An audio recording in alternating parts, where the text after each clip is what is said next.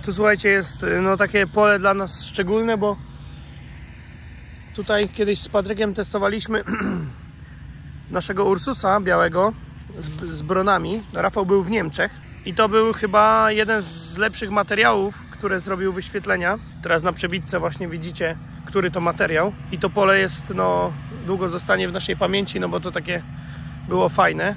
Aczkolwiek, no, jak patrzę na tę kukurydzę, no to, no to na razie nie ma na co patrzeć. Trochę słabo to wygląda. Nie wiem, podzielcie się opinią w komentarzu, jak u Was to wygląda.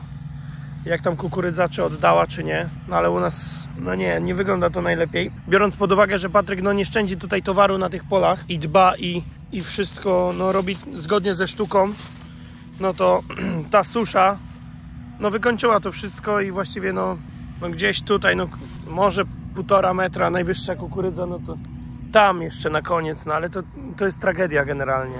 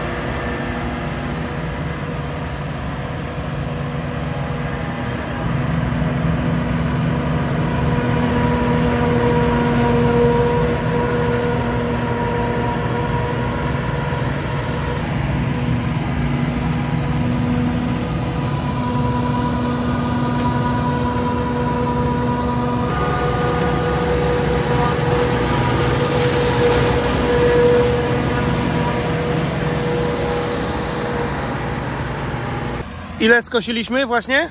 80 darów. To która przyczepa? Piąta chyba. W kolejce. Ciągników cała wieś się najechała?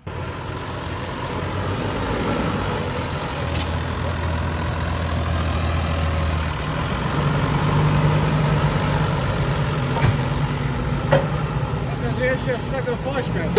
Tak to to nie. Ja by się urodziła, to to nie. Ważne, że dopłaty duże.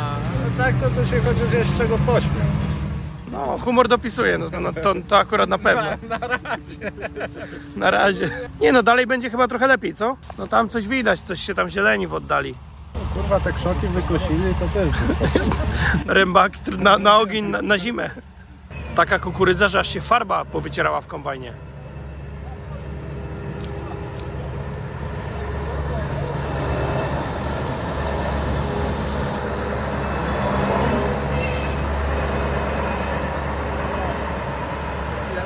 Dobra, sprzęty się grzeją. Jedziemy na drugie pole, bo tu nie było co robić.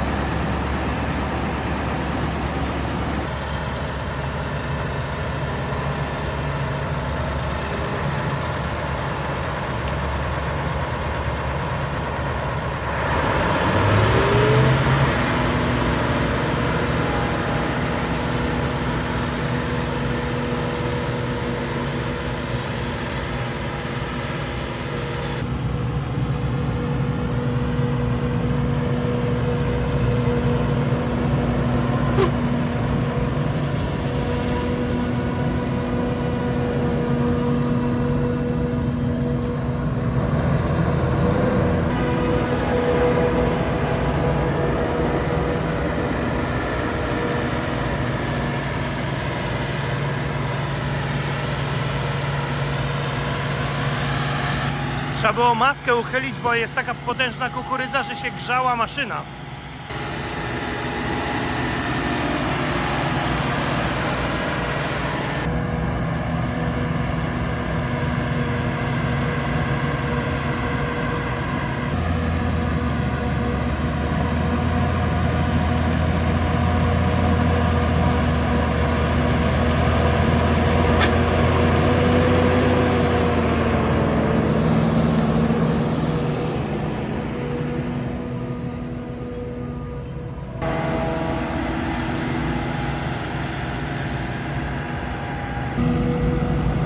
Nie no, chłopaki przyczepę ułożyli.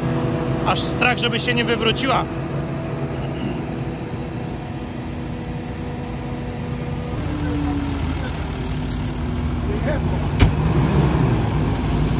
Odsuń się tata od tego.